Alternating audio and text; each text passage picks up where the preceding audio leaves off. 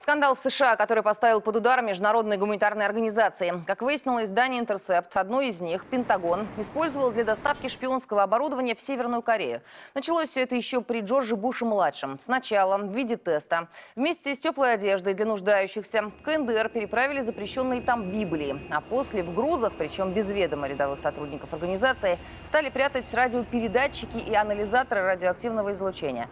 В первую очередь американцы интересовались ядерными разработками Пхеньяна. Как сообщается, эта разведывательная программа была свернута несколько лет назад, но теперь, как заявляют в Ассоциации неправительственных организаций США, под угрозой находится вся их работа, ведь власти своими действиями нарушили базовые международные принципы.